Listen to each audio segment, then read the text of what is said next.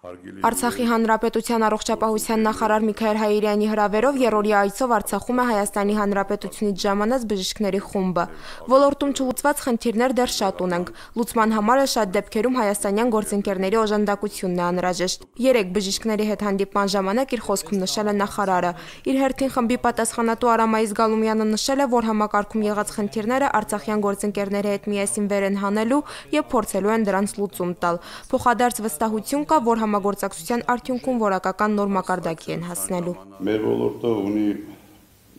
բազմաթիվ խնդիրներ, որոնցից շատերը մենք ժամանակի ընթացքում լուծել ենք։ Սակայն կան բազմաթիվ խնդիրներ, որոնց մասին մենք չենք բարձրաձայնվել, բայց ես որոշել եմ, որ այդ խնդիրների մասին խոսանք բաց եւ բարձրաձայն, որովհետեւ 5 օրը համոզմամբ միայն այդ այդ ձևով հնարավոր է շուտ հայտնաբերել եւ տալ առաջնահերթություններ այդ խնդիրներին որպեսզի կարողանանք միասին ուժերով լուծել։ Պետք է աշխատենք, որպեսզի ցանկացած թերություն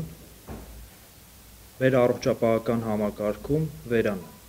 որպեսզի մեր ժողովուրդը թե Արցախում, թե Հայաստանի Հանրապետությունում